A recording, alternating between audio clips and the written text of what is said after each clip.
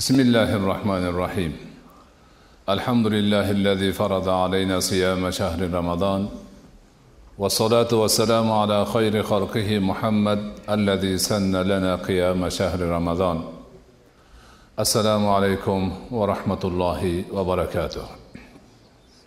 ramazon oyidagi o'tkazayotgan turkum suhbatlarimizdan bugungisida alloh subhanahu va taoloning bar ismi.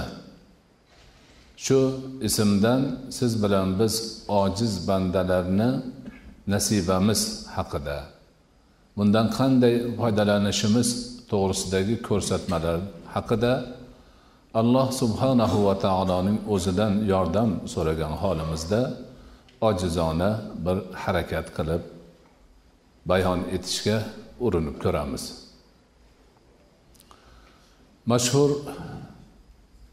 sahih hadisda allohning go'zal ismlaridan to'qson to'qqiztasi sanalgan hadisda ana shu ismlardan biri bar ismi ekanligi aytib o'tilgan. Alloh subhanahu va taoloning bar sifati ulug' yaxshilik qiluvchi degan ma'noni anglatadi. Bar sifati bir so'zidan olingan. Arabcha bir so'zi yaxshilikni umumiy ma'nosini ifoda qiladi. Demak biz suhbatimizda bizning dinimizda yaxshilik nima ekanligi yaxshilikni qanday tushunishimiz zarurligi va unga bo'lgan munosabat haqida so'z ketadi.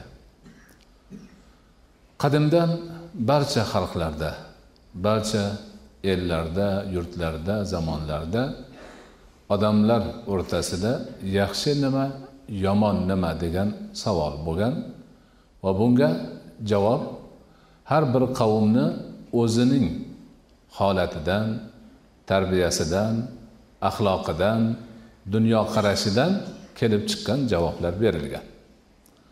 Ko'pincha har bir qavm o'zini tushunchasi urf odati ota bobosidan eshitgani o'rganib qolgan narsasi va shunga o'xshagan gaplarni yaxshi deb ba'zisini yomon deb ba'zisini aytishgan.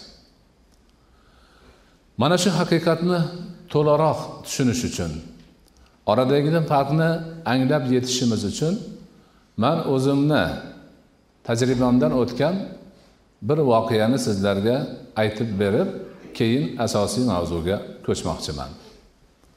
Dunyodagi eng katta davlatlardan birini hukumati taklifiga binoan ziyoratga borganimda barnomani ichida dinlar alyansi yig'inida ishtirok etish degan bir band borligi e'tiborni tortdi. Vaqti kelib fursati yetganda ana shu demak barnomani bandini demak ijro etish uchun o'sha dinlar alyansi ya'ni dinlar majmuasi dinlar to'plami deb atalgan joyga olishib bordi. Ikkita uchta tarjimon tashqi ishlar vazirligini mas'ullaridan bittasi. Borsak majlis bo'lyapti. Bizga tushuntirdi o'sha yurtdagi mavjud dinlarni vakillari shu yerda bor ekan. Ular hamkorlik uchun bir biri bilan tanishish uchun bir biri bilan yaxshi munosabatda bo'lish niyatini ifoda qilish uchun tez tez ana shunday uchrashuvlar o'tkazib turishini aytishdi. Majlis bo'layotgan joyga kirsak haqiqatdan turli dinlarni namoyandalari namoyandasi emas vakillari o'tiribdi. Din arboblari emas. Ziyolilar bo'lishi mumkin qandaydir bir e, ilmiy muassasada ishlaydigan odamlar bo'lishi mumkin lekin din arboblari emas. Majlisni olib borayotgan odam aytyaptiki biz mana turli dinlarni vakili o'sha yerga yig'ildik. Hammamiz turli dinga mansubmiz. Bugungi ko'radigan masalamiz yaxshi nimayu yomon nima? Shu to'g'risida bir hammani fikrini bilmoqchimiz e, fikrlarni yig'moqchimiz o'rganmoqchimiz. Hammalaringizdan e, demak bemalol o'zingizni fikringizni aytishlaringizni so'rayman. Man o'zim boshlab beradigan bo'lsam manimcha yaxshilik degani bu degani u degani yomonlik degani bu degani u degani deb o'zi yaxshi ko'rgan narsani yaxshi deb o'ziga yoqmagan narsani yomon deyapti. Bittasi turib so'z olib aytyapti man falon yerga boruvdim nafaqaxo'rlarni nafaqasini berishni kechiktirishibdi ozgina urushib ham qolibdi manimcha mana shu yomonlik deydi. Ikkinchisi falon yerda falonchidan pora olibdi mana shu yomonlik manimcha mana shuni eng yomonlikdan shuni deyish kerak ya'ni o'zini yo'lida uchrab qolgan narsani o'ziga yoqmagan narsani o'zini shaxsiga zarar keltirgan narsani yomon deyapti o'ziga nima bo'lishidan qat'iy nazar yoqsa foyda keltirsa uni yaxshi deyishyapti ancha gapirishgandan keyin ana mehmonlarimiz ham bor mehmonlarimizga ham so'z beraylik. Ularni ham fikrini eshitaylik deyishuvdi. Keyin man aytdimki e, man dinlar alyansi deganlaringizda boshqacha tasavvurda edim. Lekin bu yerda din arboblari emas oddiy ya'niki dindorlar o'tirganligini ko'rib turibmiz. Lekin bahslaringiz bizni dinimizga mutlaqo to'g'ri kelmaydi. Chunki bu yerda shaxslar o'zini yaxshi ko'rganini yaxshi deyapti yomon ko'rganini yomon deyapti. Birovni yaxshi ko'rgani ikkinchisini yomon ko'rishi mumkin. Unda to'qnashib qoladi. Hozir mana musulmonlar musulmonman degan odamni gapini eshitdim. Mutlaqo bizni dinga to'g'ri kelmaydi bu. Mana shu gapni eshitib sizlar borib musulmonlarda falon narsa mana shu odam aytgandek ekan deb aytib yurmalaring yana. Bir musulmonni o'zini shaxsiy fikri desalaringiz mayli. Lekin bizni dinimizda bu gapni tam teskarisi aytiladi manimcha bunaqa bilan e, demak e, maqsadga erishish qiyin. Odamlar har xil sharoiti har xil ongi har xil madaniyati har xil tushunishi har xil. Narsalarni baholashda albatta fikrlari har xil bo'lishi mumkin. Mumkin emas e, ya'ni voqelik haqiqat. Odamlarga yaxshi nima yomon nimani odamlarni ustida turgan zot aytib berishi kerak. Ana shunda yana keyin haqiqat bo'ladi hammaga barobar bo'ladi hammani to'g'ri yo'lga boshlaydi. Hayron ular bunaqa gapni eshitmagan. Bir biriga qarashadi yo to'g'ri deyolmaydi yo noto'g'ri deyolmaydi.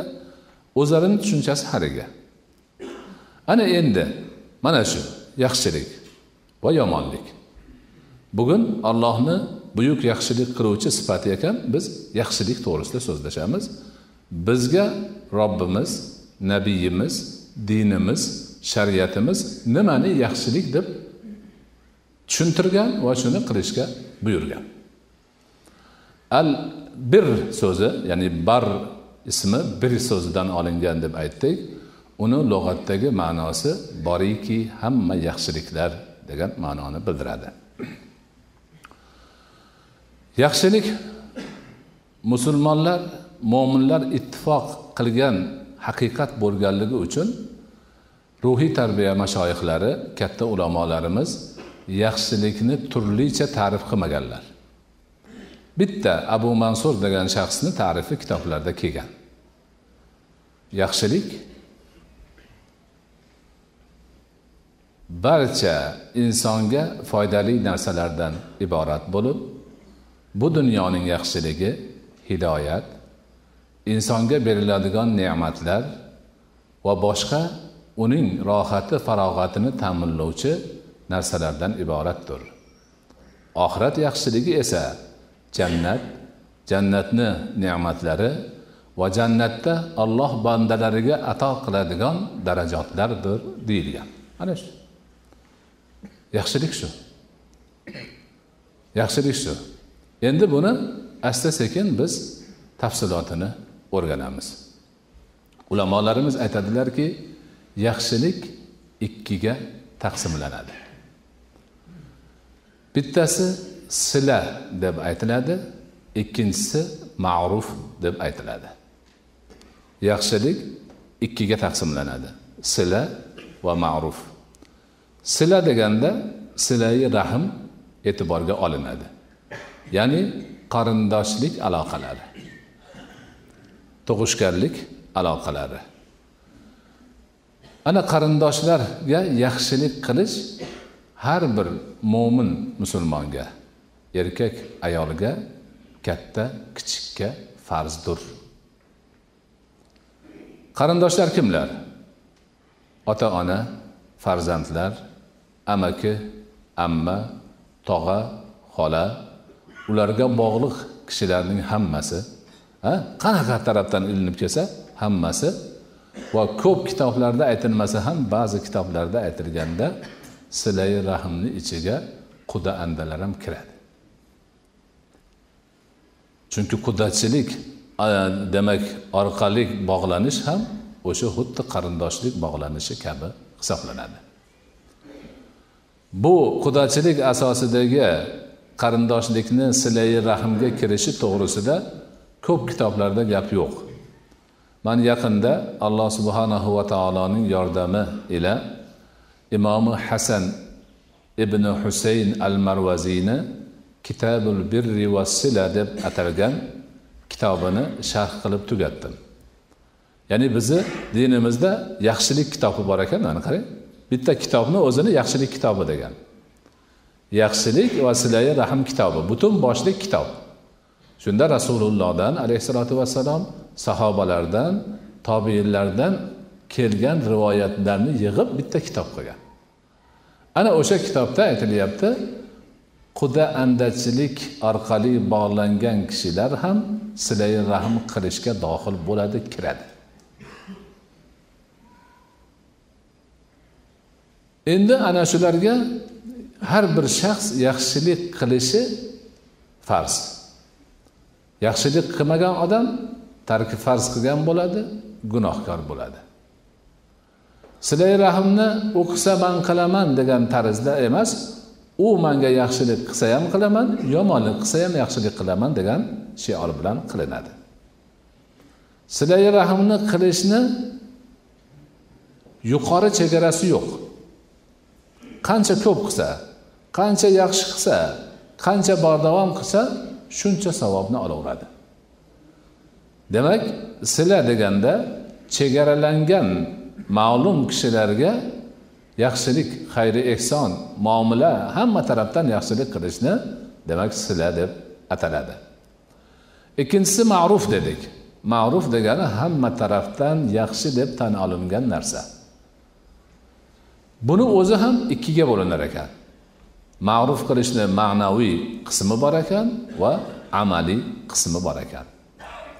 Ma'rufni ma'naviy qismi go'zal so'zlar bilan go'zal muomalalar bilan go'zal ko'ngil ochar narsalar bilan odamlarga muomala qilib ularni ko'nglini olish xushnud qilish. Chiroyli so'z gapiriladi chiroyli muomala qilinadi ha va nima qilsa qiladi?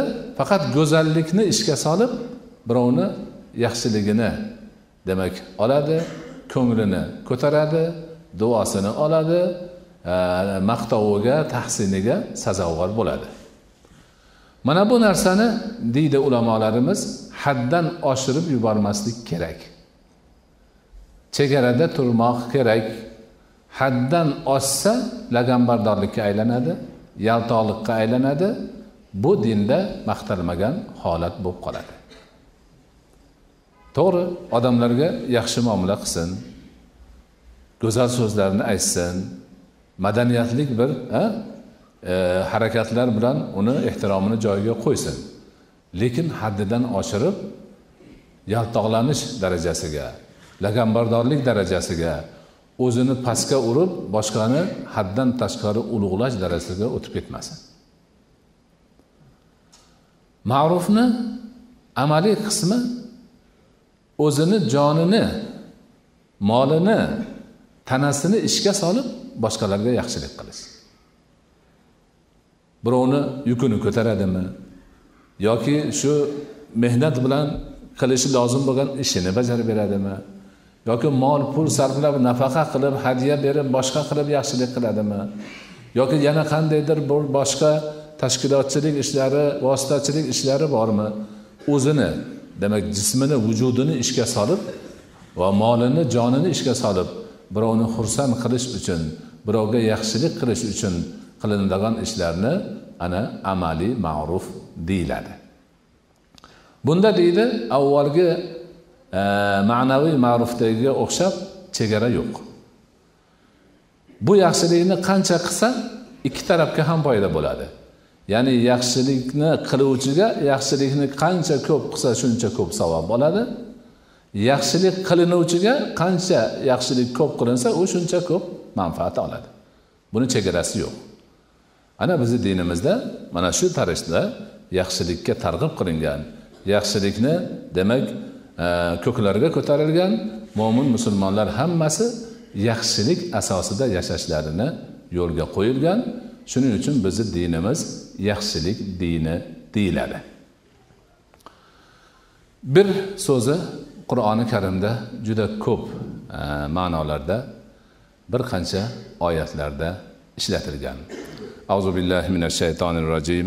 Bismillahir rohmanir rohim ليس البر أن تولوا وجوهكم قبل المشرق والمغرب ولكن البر من آمن بالله واليوم الآخر والملائكة والكتاب والنبيين. وآتى المال على حبه ذوي القربى واليتامى والمساكين وابن السبيل والسائلين وفي الرقاب. وأقام الصلاة وآتى الزكاة.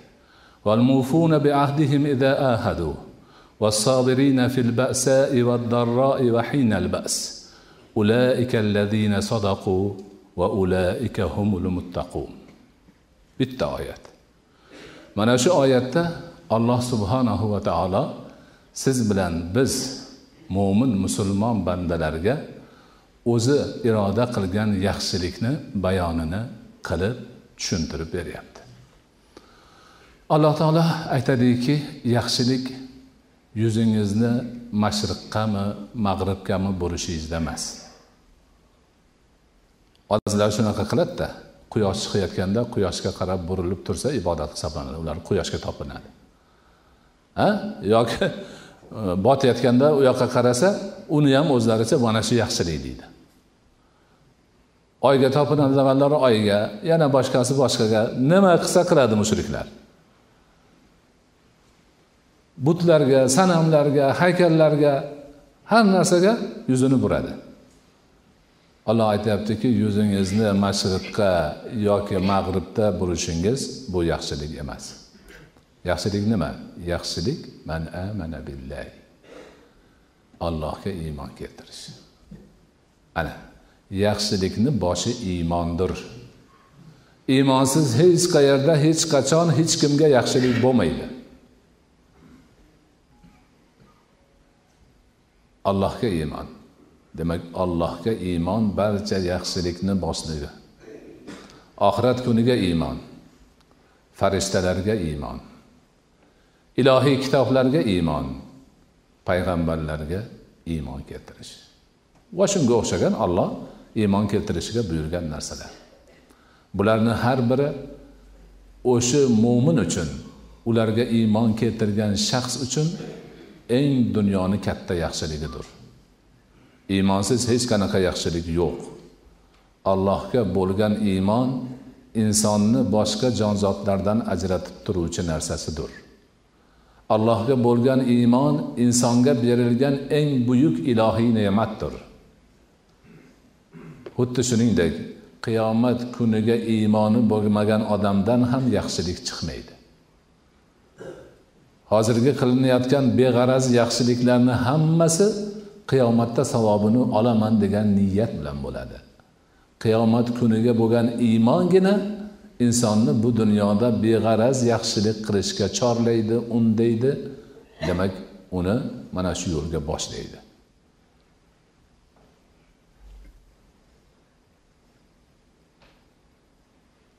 Farishtalarga bo'lgan iymon ham xuddi shuningdek.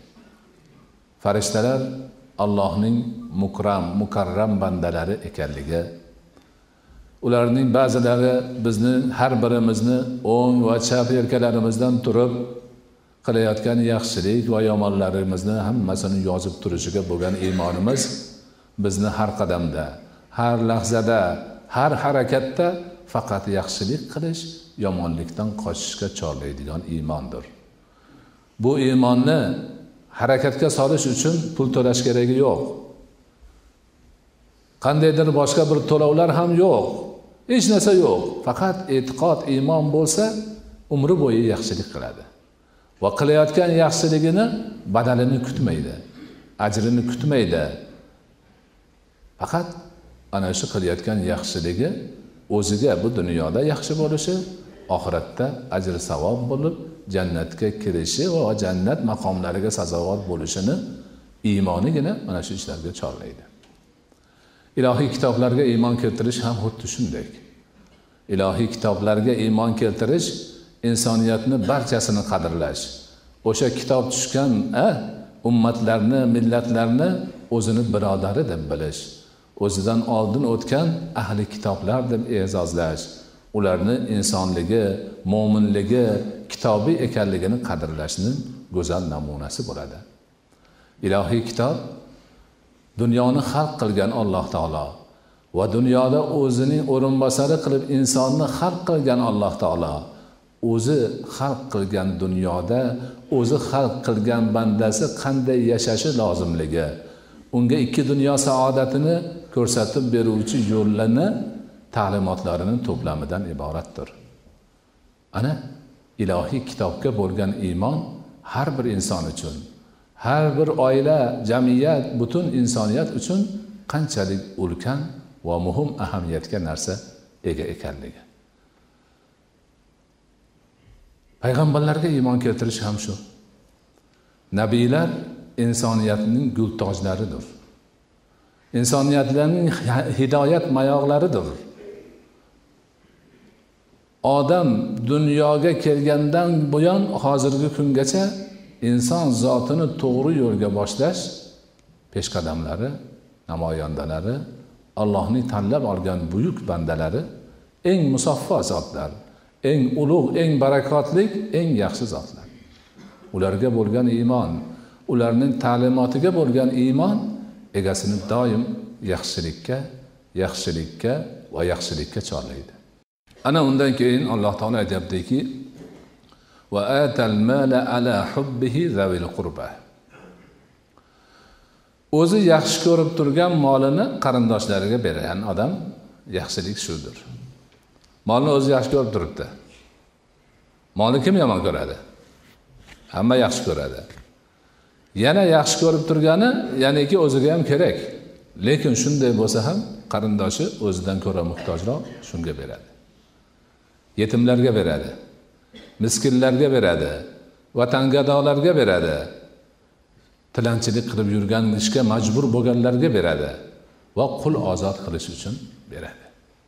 Bu moliyaviy yaxshilik deyiladi. Bu moliyaviy ibodat deyiladi.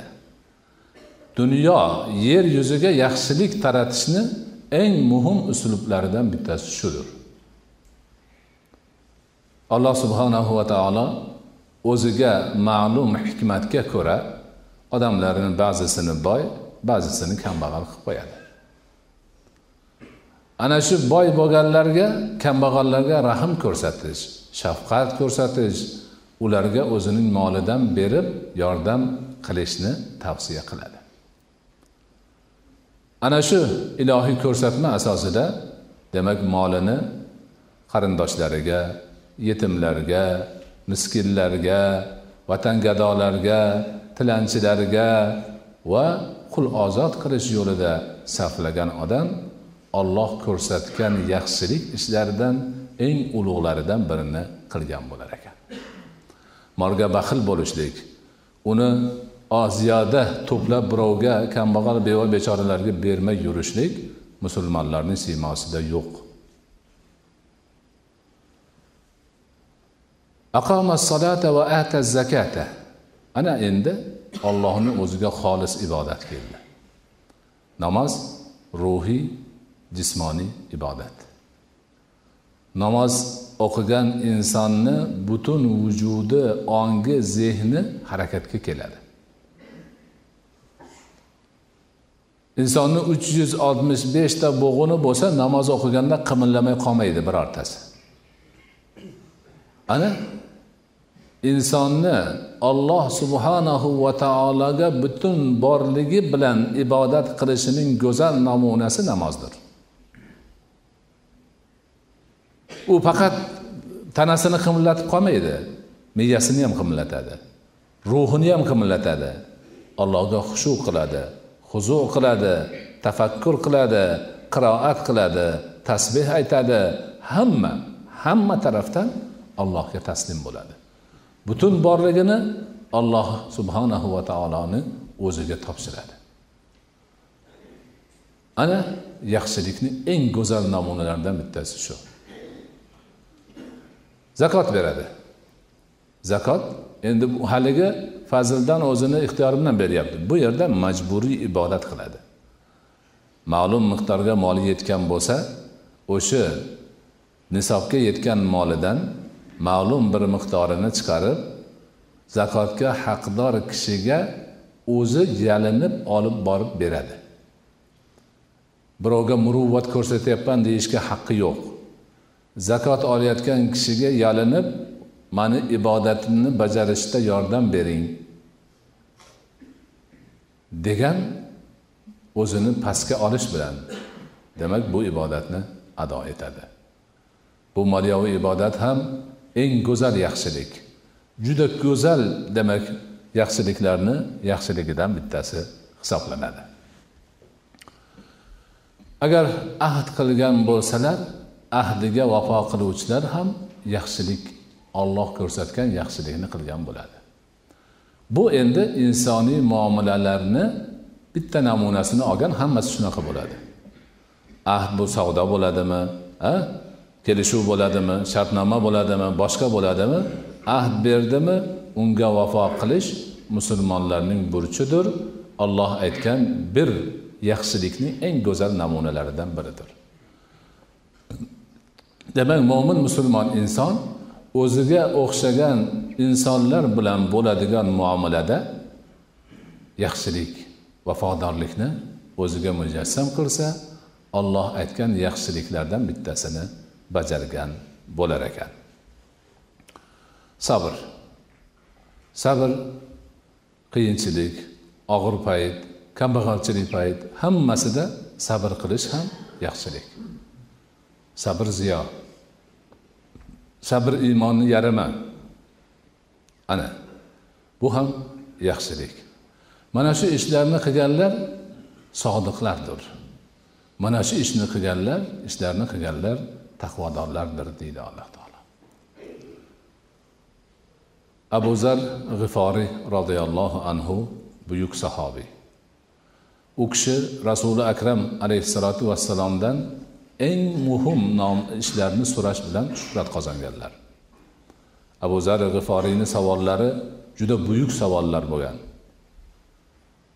Rasululloh alayhissalotu vassalom o'sha abu zar g'iforiy roziyallohu anhuni savollariga bergan javoblar jamlovchi javoblar deyiladi. Ko'p buyuk ma'nolarni o'z ichiga olgan. Bir kuni o'sha zot abu zar al g'iforiy roziyallohu anhu rasuli akram alayhissalotu vassalomning huzurlariga kelib allohning rasuli iymon nimadir deb so'radilar. Shunda rasuli akram alayhissalotu vassalom ushbu oyatni tilovat qildilar boshqa gap aytmadilar. Abu zar g'iforiy bir oz turib allohning rasuli iymon nimadir deb so'ragan edilar.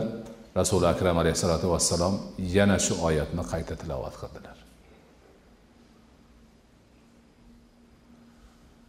Tobiinlarni ulug'i said ibn musayyab aytadilarki ushbu oyat dunyodagi barcha yaxshiliklarni o'ziga jamlagan oyatdir deydilar. Ana shu e'tibordan siz bilan biz mo'min musulmonlar mana shu oyatil bir deb nomlangan yaxshilik oyati deb nomlangan oyatni yaxshilab o'rganib yodlab tushunib ana shunda kelgan ta'limotlarga amal qilib borsak dunyoda yaxshilik qilib yuruvchi yaxshilar qatoriga inshaalloh qo'shilamiz. Alloh subhanahu va taolo boshqa bir oyatda marhamat qilib aytadi. Yasalunaka anil ahilla. Qul hiya mawaqitu linnasi wal hajj. Laysa al birra an ta'tul buyut bi an ta'tul buyuta min zuhuriha. ولكن البر من اتقى فأتوا البيوت من أبوابها فاتقوا الله الذي إليه تحشرون alloh taolo aytyaptiki ey nabiy muhammad alayhissalom sandan yangi oylar hilollar haqida so'rarlar ayt ular odamlar uchun vaqt o'lchovidir va haj uchun. Avvalda soat bo'lmagan taqvim bo'lmagan hech narsa bo'lmagan odamlar vaqtni hilolga qarab o'lchashgan. Oy bugun yangi bo'libdi falon oyini birinchi kuni e, bugun ikkinchisi bugun tugaydi deb haj qachon bo'ladi desa zulhajjada deb qarab ana chiqdi o'n ikki kundan keyin haj kuni u bu deb hammasini shundan qilishgan. Odamlar kelib rasulullohdan so'rashgan. Bu nimaga oy yangiradi keyin katta bo'ladi yana yangi deganda shu javob shu. Bu odamlar uchun vaqt o'lchovi va haj uchun. Endi hajda mushriklarni qiladigan odati bor ekan. Kim borib haj qilsa baytullohni tavob qilib hajni boshqa ishlarini qilib uyiga qaytib kelsa hoji keldi. Uyni orqasidan teshik ochishar ekan. Yangi hajdan kelgan odam o'sha yangi darchadan uyni orqasidan ochilgan teshikdan kirishi kerak ekan. Ha? Nimaga bunaqa? Biz bu uyni eshigidan kirib chiqib gunohkor bo'lganmiz biz. Gunohkorlik vaqtimizda kirib chiqib yurganmiz. Endi hoji bo'ldik gunohimiz yuvildi.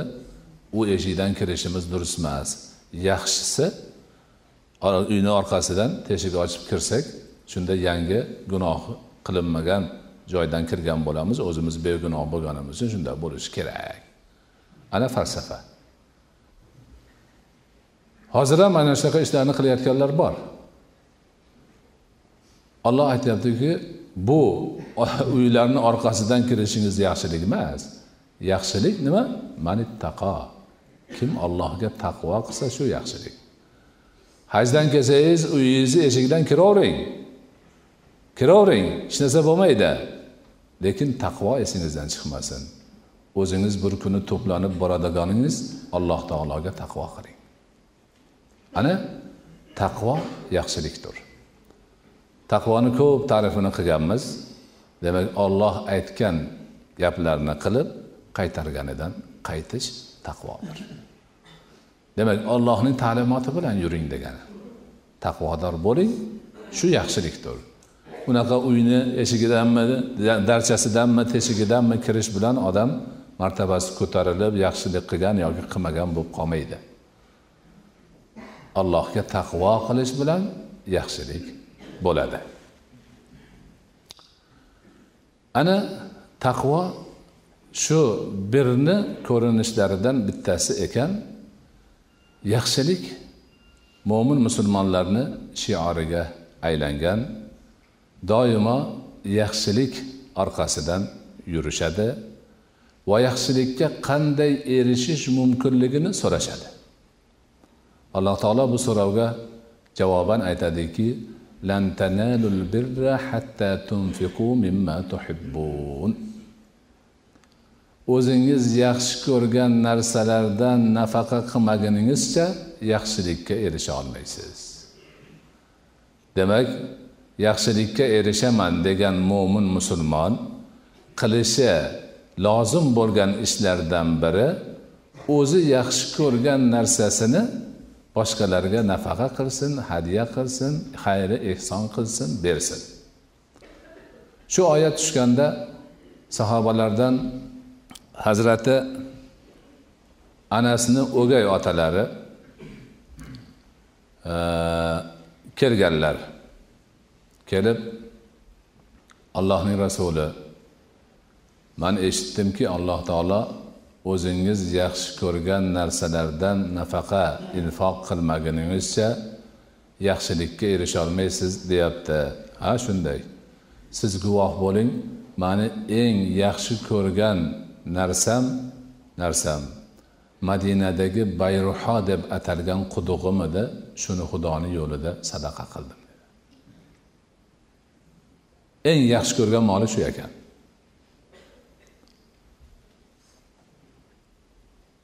Ho'p hazrati umar roziyallohu anhu ham haybardan katta bir yerga ega bo'lgan edilar. U kishi ham shuni xayriya qilib hammaga yaxshilikka atab qo'ydilar. Va bunga o'xshagan demak yaxshilikka erishish maqsadida mol pul sarflash yo'li musulmonlarni siymosiga aylandi.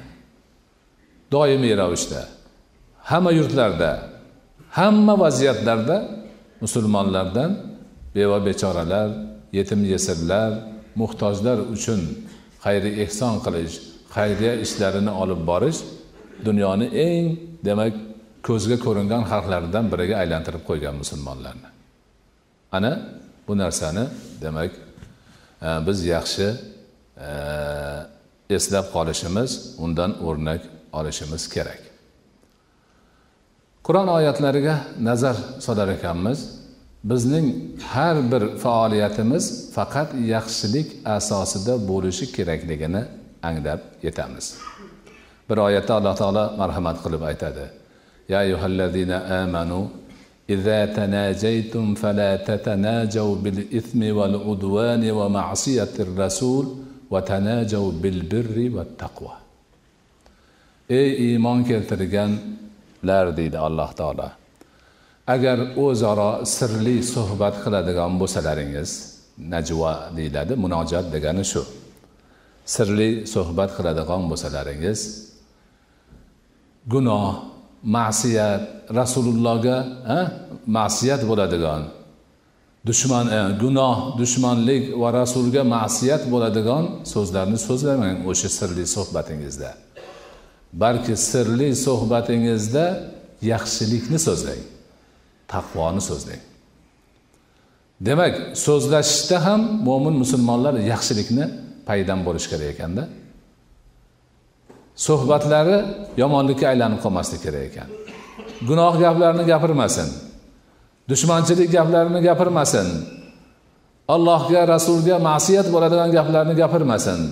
Faqat yaxshilikni gapirsin taqvoni gapirsin. Mo'min musulmonlar bu dunyo hayotida yashab yurar ekanlar.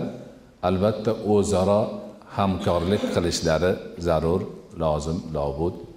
Ishlarini shunga to'g'rilashi kerak. Bu qanday bo'lishi kerak? Bu qur'onni ta'birida aytiladi.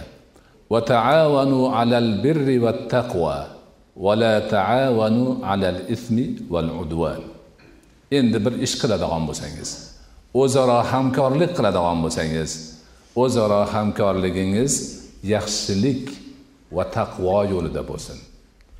Gunoh va dushmanchilik yo'lida bo'lmasin. Ana endi amal ham hali gap edi endi amal ham yaxshilikka bo'lishini alloh subhanahu va taolo alohida ta'kidlab aytyapti.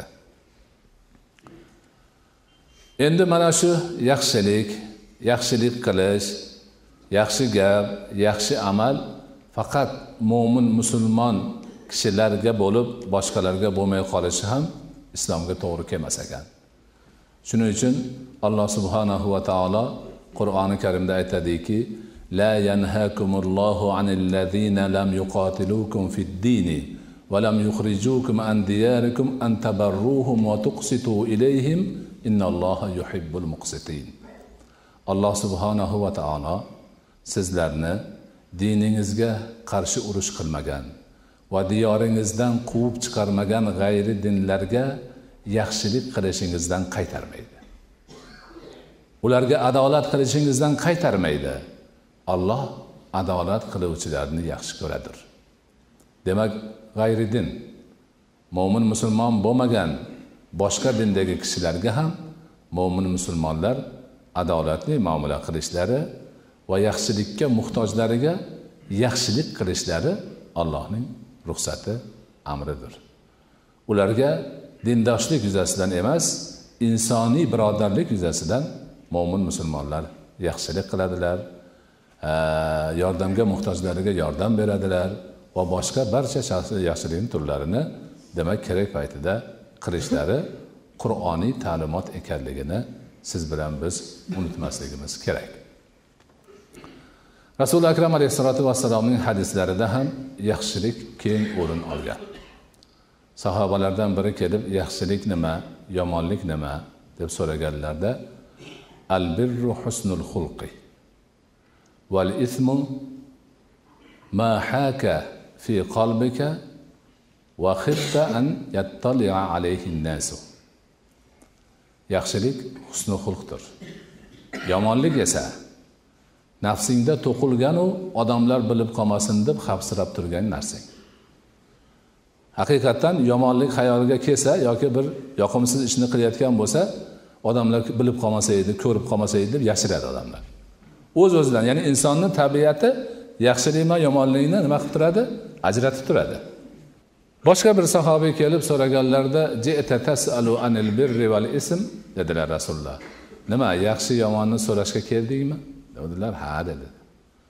Aytdilarki al birri matmaanna ilayhi qalb e, e, matmaannat ilayhi nafsu va matmaanna ilayhi qalbu. Val ismu ma haka fi nafsi va taraddada fil qalbi. Aytdilarki yaxshilik qalb xotirjam bo'lgan narsa.